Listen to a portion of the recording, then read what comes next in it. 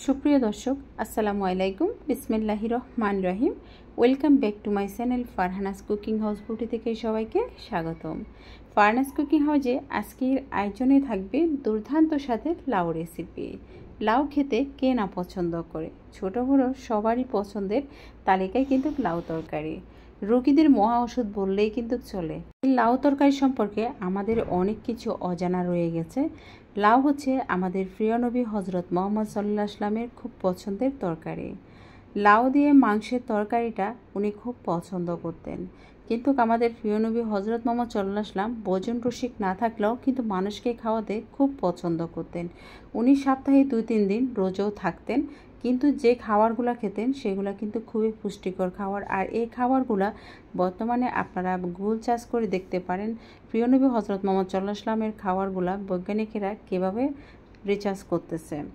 তো এখানে আমি তিন টেবিল চামচ দিয়ে দিয়েছি তেল আর লং এলাচি, দারচিনি দিয়ে দিলাম। তারপর এক টেবিল চামচ দিয়ে দিয়েছি আদা বাটা, এক টেবিল চামচ দিয়ে দিয়েছি রসুন বাটা দিয়ে এটাকে দুই মিনিট ভেজে নিলাম। এখন এখানে আমি দিয়ে দিচ্ছি তিন টেবিল চামচ দিয়ে দিচ্ছি আমি এখানে পেঁয়াজ বাটা।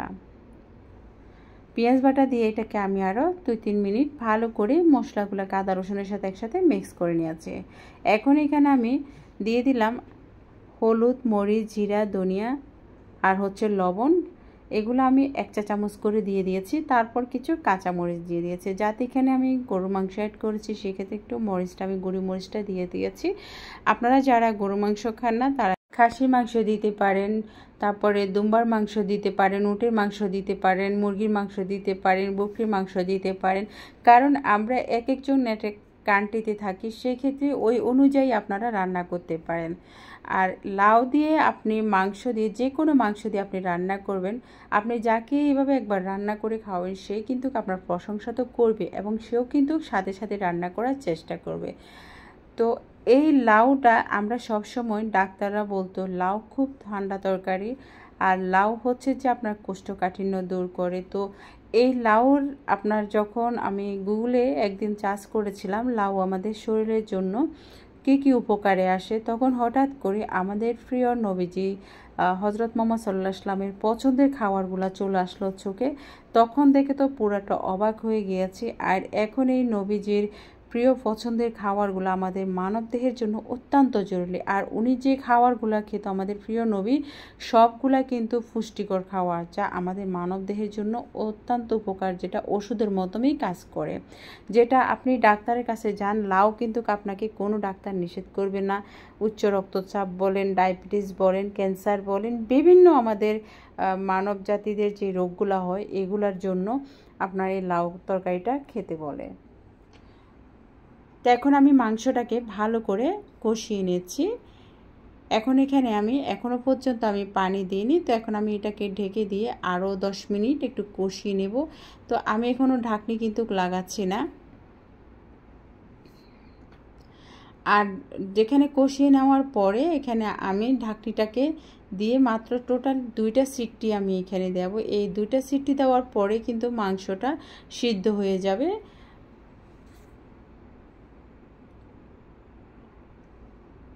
বাস, এখানে দুটি সিটি দিয়ে দিয়েছে। দেখতে পাচ্ছেন, আমি, আপনি যখন মাংসটাকে ভালো করে কষাবেন, সেখানে কিন্তু পানির কোনো প্রয়োজন হয় না। তো এখন আমি পানি দিব, যাতে এখানে আমি লাউটা অ্যাড করব।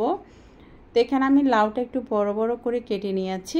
লাউ দিয়ে যখন মাংসটা রান্না করবেন, তখন মাংসটাকে একটু ভালো করে সিদ্ধ করে নিতে হবে। এখন এখানে আমি দুই কাপ গরম পানি অ্যাড করব, কারণ লাউ জাতীয় ফাইবারযুক্ত খাবার সেক্ষেত্রে লাউ থেকেও কিন্তু পানি বাইর হয়ে যাবে, সেক্ষেত্রে বেশি পরিমাণ পানি দেওয়ার দরকার নেই। আর এই লাউয়ের, লাউ মাংসের তরকারি ঝোল দিয়ে জাস্ট ফাটাফাটি আপনি রুটি বলেন সাদা রুটি বলেন, চাউলের রুটি বলেন গরম ভাত বলেন, যে যেটা দিয়ে খেতে একেবারে জমিয়ে খেতে পারবেন। তো আমার কাছে এখন যাতে গ্রীষ্মকাল একটু গরম পড়তেছে, তার জন্য আমি একটু টমেটো দিয়েছি। এই টমেটোটা অপশনাল আপনারা থাকলে দিবেন, না থাকলে নেই। তবে দিলে কিন্তু লাউ তরকারিটা সম্পূর্ণ চেঞ্জ হয়ে যাবে, স্বাদ কিন্তু একেবারে দ্বিগুণ হয়ে যাবে।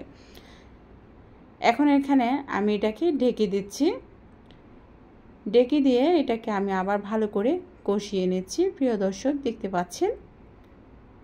আমি লাউ দেওয়ার পরে প্রেশার কুকারের কিন্তু আপনার সিটটি দেওয়াচ্ছি না। আমি যাতে লাউটা এখানে কচি লাউ নিয়েছি সেই ক্ষেত্রে এটাকে আমি এখন রান্না করব। তো টোটাল আমি লাউটা দিয়ে আরও পনেরো মিনিটের মতন রান্না করতেছি। আপনার আমি যাতে ইমপ্রেস চুলাটা ব্যবহার করতেছি সেক্ষেত্রে হচ্ছে যে এখানে একটু সময় লাগে। গ্যাসের চুলা হলে দশ থেকে পনেরো মিনিটের ভিতর হয়ে যায়, আর এই ইলেকট্রিক চুলার ভিতরে পনেরো বিশ মিনিট সময় লাগে। আমরা যারা বাসা বাড়িতে থাকি, সেক্ষেত্রে অনেকের বাসায় কিন্তু আপনার গ্যাস থাকে না। আর পুরান তো গ্যাসের অনেক প্রবলেম করে, তো এখানে আমি ধনিয়া পাতা দিয়ে দিয়েছি। আম্মাকে সব সময় দেখতাম রান্না করার শেষে একটু বাজার জিরে গুঁড়া দিয়ে দিত। তা আমি বাজার জিরে গুঁড়া দিয়ে চুলাটা বন্ধ করে দিয়েছি। প্রিয় দর্শক, লাউ রান্নার রেসিপিটা কেমন লাগল অবশ্যই কমেন্টসে জানাবেন। আপনারা কীভাবে রান্না করেন এবং কিসের মাংস দিয়ে রান্না করেছেন সেটা কমেন্টসে জানিয়ে দেবেন। আমিও আপনাদের মতন করে রান্না করার চেষ্টা করব। এখন গরম গরম সবাই কিন্তু ডাইনিংয়ে অপেক্ষা করছে খাওয়ার জন্য। বাস রেডি হয়ে গেল। মজাদার লাউ দিয়ে গরু মাংসের রেসিপিটা আপনাদের কেমন লাগবে এভাবে রান্না করবে আপনাদের পরিবার পরিজনদের সাথে খেতে পারেন ফ্যামিলি ফ্রেন্ড সার্কেলদের সাথে খেতে পারেন। আর আপনার যত স্পেশাল মেহমান আসুক না কেন, তাকে একবার খাওয়ালে বারবার সে কিন্তু আপনার বাসায় যতবার আসবে, ততবারকেই কিন্তু আপনাকে রিকোয়েস্ট করবে লাউ তরকারিটা রান্না করার জন্য। ভিডিওটি ভালো লাগলে আমাকে সাপোর্ট করবেন। ধন্যবাদ সবাইকে। আসসালামু আলাইকুম।